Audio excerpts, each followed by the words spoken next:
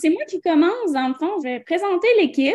Donc, euh, on a Jean-François qui était enseignant de sixième année dans le cadre du projet Premier Peuple qu'on a affectueusement nommé P1P. Maintenant qu'il travaille comme conseiller pédagogique au récit, on a Virginie, euh, Séverine. Euh, moi, j'ai agi aussi comme assistante de recherche dans le cadre du projet. Mais c'est l'implication de tellement beaucoup de personnes, ce projet-là. On a été vraiment, vraiment chanceux. Évidemment, l'implication de Jean-François Boutin, de Joanne Plot, qui nous ont beaucoup aidés, mais aussi euh, Marie-Émilie Lacroix, qui est chargée de cours à l'Université du Québec à Rimouski, puis qui est représentante des Premières Nations. On a aussi eu la grande, grande implication de Martine Bélanger et de Karine Riley, qui sont deux conseillères pédagogiques de l'OCTET. C'est sûr que le projet n'aurait pas été possible sans l'implication des élèves et des étudiants universitaires qui sont vraiment sortis de leur cadre habituel, j'ai l'impression, dans un projet qui s'avère absolument innovant. Le projet s'est déroulé à l'école où j'enseignais l'année dernière, l'école Saint-Jean-Baptiste. C'est en Haute-Ville, dans la ville de Québec. C'est une école primaire pensée, tout ce qu'il y a de plus euh, habituel. Rentrer un peu trop d'élèves, qui euh, fait exploser les ratios avec des particularités de certains élèves. Des élèves allophones un peu, des élèves euh, en difficulté, ajouter à ça un peu d'anxiété. Vous avez ma classe. Donc voilà, au niveau des ressources numériques, bien, aussi imaginez une classe assez normale, euh, une classe québécoise, je vais le dire comme ça, où on a accès à des chariots de Chromebook, mais aussi quelques tablettes en classe qui nous sont attribuées de façon plus permanente. L'actualité nous a beaucoup rattrapé au niveau des préoccupations euh, ou certains enjeux liés au premier peuple au Québec dans les dernières années, ce qui m'a amené à me questionner beaucoup personnellement, puis à me dire que finalement, euh, J'y connaissais pas grand-chose, ou en tout cas que la connaissance que j'en avais était peut-être euh, pas à jour, je vais le dire comme ça. Ça m'a donné le goût d'aller creuser ça avec mes élèves. Donc, mon intention, elle est vraiment super simple, faire de mes élèves de meilleurs citoyens. C'était vraiment tout simplement ça, en allant développer leur compréhension de cette réalité-là des premiers peuples.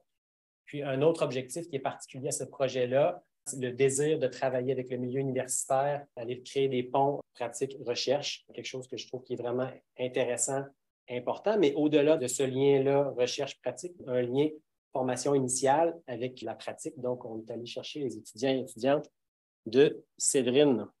Le processus de co-création où pendant une année avant le projet, on pense ce projet-là, on en élabore les constituantes, les outils, etc. Et puis, on arrive à cette idée d'une année d'exploration où on scindra l'année en quatre temps importants qui vous sont présentés ici donc, dès l'automne, les élèves sont mis dans un bain de culture, vous verrez comment, et on s'informe de façon formelle et informelle selon les intentions, les tâches. Ensuite, on aura à choisir, choisir un thème sur lequel on veut travailler après s'être baigné dans la culture autochtone. Puis, on devra produire où arrivent nos étudiants universitaires, toute expertise dans compétences de production, et on veut ultimement diffuser parce que être citoyen, c'est être dans la cité. Donc, on veut diffuser dans la cité par tous les médiums possibles.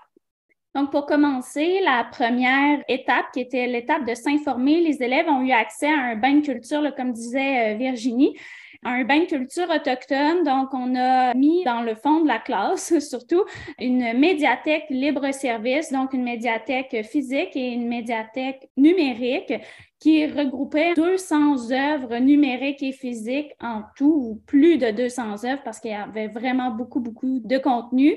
Puis à noter qu'on a eu une attention particulière au fait de vouloir donner la voix à des œuvres ou à des références qui ont été euh, faites ou réalisées par des gens issus des peuples autochtones plutôt que des œuvres qui parlaient de simplement. Les élèves ont également vécu aussi des cercles de littératie médiatique multimodale, un peu sous la forme finalement de cercles de lecture. Puis l'intention, c'était d'aborder certaines thématiques à travers des œuvres multimodales, comme vous pouvez voir là, à l'écran. Donc, euh, par exemple, on a abordé les stéréotypes euh, à travers la bande dessinée, etc. Puis, euh, finalement, en guise de conclusion un peu dans cette étape-là, les élèves ont eu l'occasion de vivre l'exercice des couvertures qui était animé par Marie-Émilie Lacroix. C'est une activité, en fait, qui faisait vivre la colonisation et ses impacts, notamment les impacts territoriaux, mais pas uniquement du point de vue des Autochtones. Puis ensuite, les élèves, après ce bain de culture-là, ont pu choisir un sujet d'étude. les élèves de Jean-François étaient invités à faire le choix d'un sujet. Fait à noter, il y avait un objet pont entre les étudiantes de ma classe et les élèves de Jean-François, où est-ce que chaque élève était invité à se présenter et à dire deux ou trois sujets qui les intéressaient. Les pensionnats sont venus 26 fois, 26 élèves, mais pas que. Il y avait aussi d'autres objets, donc ils étaient invités à se magasiner un thème puis à faire le choix d'un thème. Après ce grand bain de culture autochtone, d'aller sélectionner un sujet qui les intéressait, aller pousser un petit peu plus loin, mais vraiment sur une base volontaire. Donc, il y en a qui sont allés dans des directions complètement opposées. Les violences sexuelles dans les pensionnats autochtones, comme la recette de la bannique. Faites un continuum avec ça. c'est ça. C'est en trois dimensions. Oui, c'est ça, mais des, sujets super intéressants dont l'élève était devenu spécialiste. Alors, quand mes étudiantes arrivent dans la classe, elles ne sont pas spécialistes de l'objet en général, ils sont passés en sixième année. Un questionnaire de début de rencontre vous a fait réaliser qu'il ben, avait oublié certains aspects, où il n'était pas dans la sixième année avec Jean-François. Donc, le spécialiste du sujet, c'est l'élève, et les spécialistes de la modalité, ce sont les étudiants de ma classe qui sont des finissantes au bac en éducation préscolaire et enseignement primaire qui ont choisi un deuxième cours de technologie dans leur parcours, qui est un cours au choix. Alors, ils débarquent dans mon cours et je leur dis hey, un des projets, c'est de débarquer dans la classe de Jean-François. Avant d'aller dans la classe, on avait structuré ça dans la partie co-création, vous devez leur proposer des modalités qu'on considère comme innovantes. On sortait un peu du Google Docs.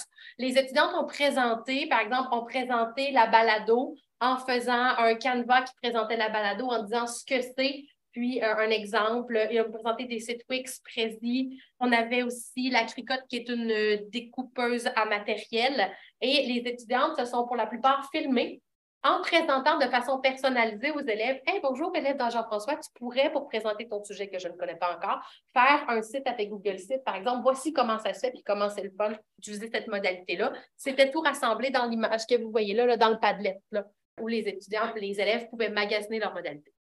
Je fais une parenthèse sur le Padlet. C'est là qu'on a créé le contact entre les étudiants de Séverine et mes élèves. Les élèves se seront présentés dans une courte vidéo. On nommé des sujets. Les étudiants ont fait la même chose. Ils se sont rencontrés virtuellement avant de se rencontrer pour vrai pour la production. Un Tinder pédagogique. Un Tinder pédagogique. Super bien organisé. Ensuite, le jumelage a été fait. Donc, de mon côté, il y avait 20 étudiantes qui euh, ont été jumelés avec deux ou trois élèves de Jean-François. Ça formait des trios ou des quatuors. Vous les voyez là travailler dans la classe. Elle avait l'avantage quand même d'être grande, de pouvoir nous accueillir. On ne se pilait pas trop sur les pieds. Il faut dire aussi qu'à un certain moment dans la production numérique, différentes modalités ont été choisies avec leurs particularités. Faire un précis, ça se fait bien à l'ordinateur. Mais pour faire un balado, on a eu des gens qui se sont enfermés dans différents garde-robes et qui se sont déployés sur les différents étages de l'école. Vraiment, il y avait des petites fourmis un peu partout. Là. Ça résume bien ce qui s'est passé, ça fourmille. Je prends un pas de recul. Tout à l'heure, on a dit la notion de choisir. Euh, les élèves ont choisi un sujet, mais là, vous avez compris avec ce que Séverine vient de dire là qu'ils ont aussi choisi une modalité. C'est un apprentissage peut-être à garder en tête pour euh, la suite. Pour la dernière étape, en fait, qui était l'étape de diffusion, les élèves ont pu euh, diffuser leur production numérique sur un site web, le site P1P, là, auquel vous avez accès en balayant avec le code QR qui est à l'écran. Puis en fait, chaque élève devait créer, accompagné par les étudiantes, une page qui était spécifique à leur projet, puis ça, c'était regroupé sur le site P1P. On a eu aussi une diffusion plus étendue, notamment à la radio. Le projet a été présenté à la radio, puis dans le quartier aussi, où là, les élèves et Jean-François vous êtes sortis sur euh, le parvis de l'église à côté de l'école. On avait aussi des livres, des iPads pour permettre aux gens du quartier de venir prendre connaissance des productions des élèves, puis éventuellement aussi d'engager des discussions autour du sujet des peuples autochtones. Moi, je tenais à ce que ce soit incarné dans la vraie vie, pas uniquement dans le monde virtuel. Donc, je tenais vraiment beaucoup à ce bout-là. Puis je garde en souvenir dans ma tête pour mes jours à me bercer dans un CHSLD éventuellement, le moment où une de mes élèves explique dans un anglais approximatif une réalité autochtone à un touriste du Vermont. Comme... Sur le parvis de l'église, Mission accomplie. C'est le site où on a rassemblé les différentes euh, productions. Puis je voulais juste défiler tranquillement, comme ça, tranquillement, pas vite, les thèmes que les élèves avaient choisis, le rap autochtone, les chandails orange, les surnoms et dans les langues autochtones. Puis, euh, si jamais vous prenez le temps d'aller le surfer, vous irez voir les différentes modalités que les élèves ont sélectionnées pour aller traiter des différents sujets. Vous allez voir que c'est quand même excessivement intéressant. je ne pense pas que sans le bain de trois mois d'intégration libre, d'explorer des œuvres, on aurait pu aboutir Donc, il est très questionné. Jean-François m'en parlait tout à l'heure par certains collègues. Vraiment, tu les laisses libres. Il y a des moments de lecture, tu n'as pas une intention précise, tu n'as pas une évaluation à coller. Non. Et on les a vus plein de fois partir vraiment chacun, un dans, le coin iPad, un dans je prends une BD, je pars avec, deux qui se partagent pour écouter des chansons. C'était de toute beauté voir ça avec des élèves, comme tu l'as dit, mm-hmm. François, en difficulté, certains forts, certains moins forts. On n'est pas dans du privilégié, assurément curieux de nature, mais là, on est mission accomplie la production précédente, une élève qui traite de la journée des chandails orange dans une vidéo. Le travail est fort. Celle-ci, c'est une affiche Canva qui mène vers d'autres affiches, mais qui traite du même sujet, c'est-à-dire l'appropriation de la mode autochtone dans un contexte plus contemporain. Ça soulève des enjeux. Bref, vraiment super intéressant. Puis là, ben, vous pouvez voir un peu dans quoi ça a tapé dans les différentes compétences j'attire votre attention sur ces trois bébites-là. La première à gauche, c'est ce que nous, on a appelé le portfolio d'inspiration numérique. Tout à l'heure, on parlait de citer les sources, de voir comment nos élèves travaillent pour récolter cette fameuse information-là. C'est ça, un portfolio d'inspiration numérique. Dans le fond, c'est un canevas vide, puis on demande aux élèves d'aller remplir qu'est-ce qu'ils veulent dire sur leur sujet? Bien, cette fois-ci, elle voulait parler des journées des chandelles oranges. Qu'est-ce qu'elle veut en dire? Elle vient de l'inscrire, puis là, elle va venir mettre certaines sources.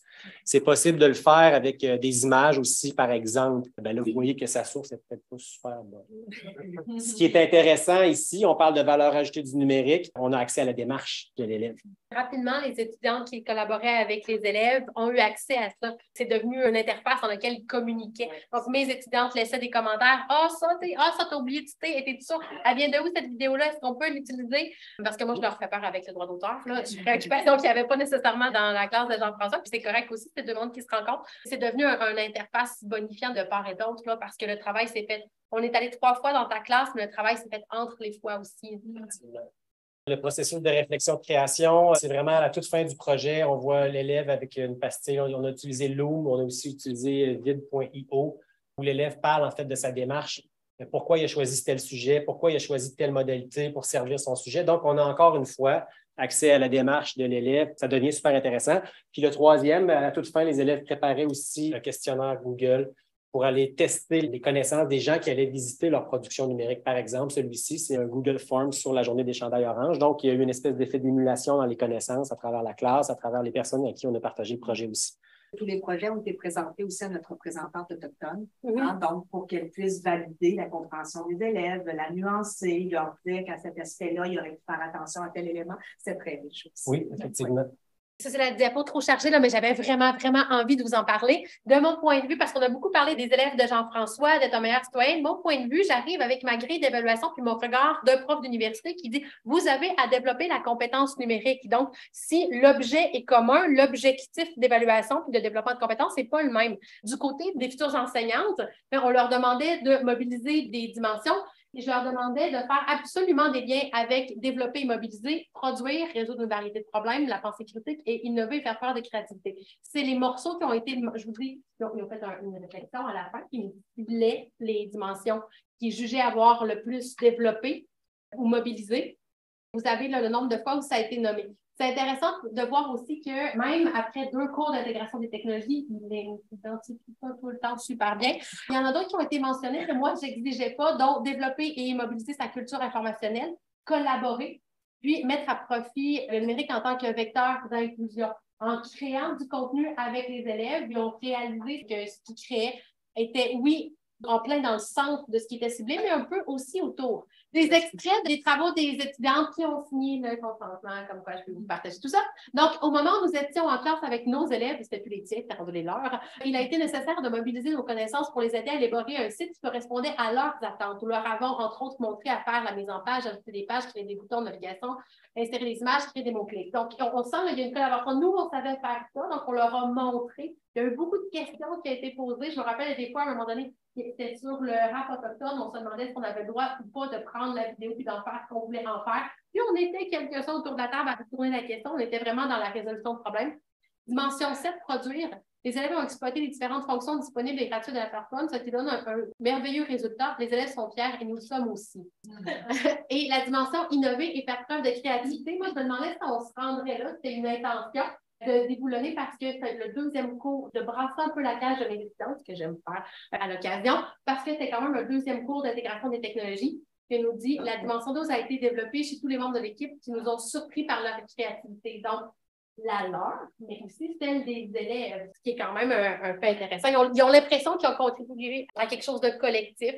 Éventuellement, on pourra analyser une autre fois les données, les regarder d'un autre sens pour croiser avec le regard des élèves. Retombée scientifique, quand bien sûr, on a documenté des pratiques innovantes. On contribue au rapport de Jean-François. Donc, en LNM, en littératie, en univers social, en interdisciplinarité.